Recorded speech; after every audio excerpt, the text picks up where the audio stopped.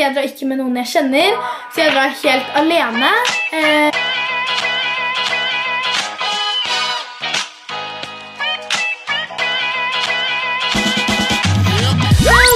og hjertelig velkommen til en helt ny video her på min kanal. I dag så skal jeg ha en ganske annerledes video. Dere har helt sikkert sett på tittelen hva jeg skal prate om i denne videoen. Og oh my god. Så sommer 2020 så drar jeg på språkreise til Long Beach i USA. Eh, Jeg drar alene, eller jeg drar jo med en sånn stor gruppe da. Men jeg drar ikke med noen venner, jeg drar ikke med noen jeg kjenner. Så jeg drar helt alene. Eh, så ja, jeg gleder meg kjempemasse. Og jeg har hørt så mye fint om Long Beach, og jeg har, på, jeg har alltid sett på sånne EF språkreiser og har alltid syntes at det har vært skikkelig gøy å se på. Eh, Så det var sykt gøy at jeg ble kontaktet av de og skal reise til Long Beach denne sommeren som kommer. Så det gleder jeg meg helt sykt mye til. eh, Og ja, jeg tenkte å fortelle litt om eh, dette her da. Eh, Så jeg reiser da til Long Beach, som er i California i USA. Em, Jeg skal være der i tre tre fantastiske lange uker. Jeg gleder meg kjempemasse. Og ja, EF språkreise er at du drar på en språkreise for å oppleve masse nye ting, og det er også skole der. Jeg har da tatt engelsk. Jeg skal da lære meg engelsk på den språkreisen, eller bli bedre i engelsk da. Engelsk har jeg valgt fordi det er et språk man trenger veldig ofte, og ja, jeg har bare lyst til å bli enda, enda flinkere i engelsk. Og det er jo ikke bare skole der, men det er også det er skole, aktiviteter, eh, vi reiser til forskjellige steder, og det er masse kule ting hver eneste dag.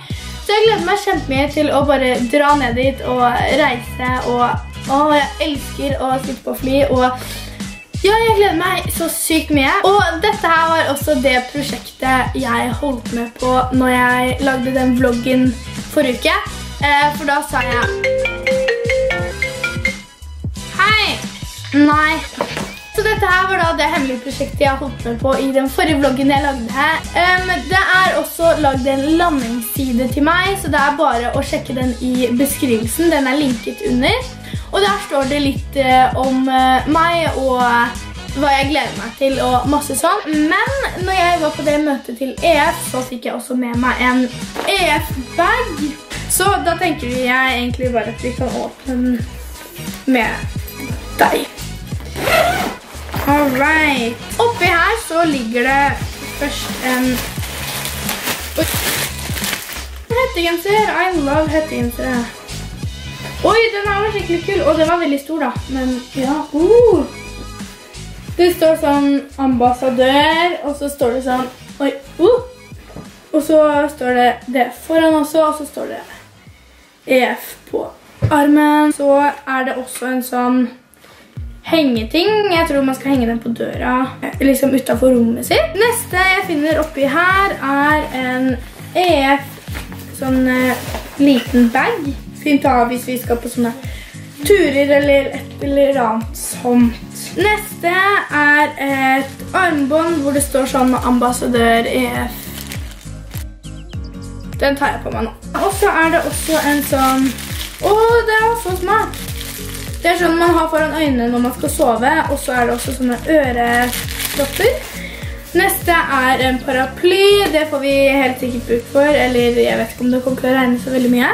Men det er også bare fint å ha en paraply med. Neste er en rosa t-skjorte. Oi, det var så fin. Så står det ambassadør bak, EF på armen. Neste oppi her er, ja, det er sånne tusjer, og eh, jeg tror dette er et lite penal da, eller ikke lite, men med farger og sånne highlight-tusjer, og ja, det var jo veldig smart. Neste er notatbok. Bakpå står det liksom hvilke land du kan reise til. Det er ganske mange egentlig. Neste er, skal vi se, oi. Sånn hydroflask, eh, hvor det står sånn eh, EF på og ambassadør. Neste er tre penner, hvor det bare står EF på. Og det siste vi har oppi denne baggen her er enda en sånn sove, sovemaske. Og på denne så står det Start dreaming in a new language. Og så står det sånn EF der nede.